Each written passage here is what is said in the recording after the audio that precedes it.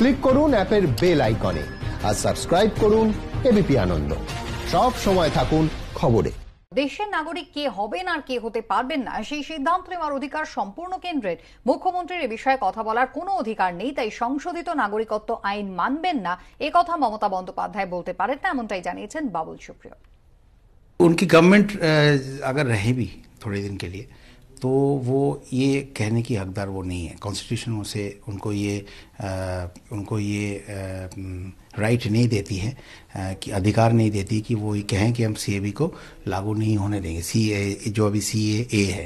आ, ये बिल्कुल central subject है सेंट्रल लिस्ट में है और किसको नागरिकता दिए जा दी जाएगी या नहीं दी जाएगी ये बिल्कुल सेंटर का प्रायोरिटी है। ममता बनर्जी इसमें कुछ नहीं कर सकती नंबर वन दूसरी बात ममता दीदी के, ममता दीदी को निजी तौर पे और उनकी ज़िंदगी में मैं बहुत मतलब उनको मैं बहुत लंबी उम्र की मैं जो है, शुभकामनाएँ देता हूँ। वो बहुत लंबी ज़िंदगी जिए अपोजिशन लीडर की तरह जिए जिए जो अच्छा कर लेती है।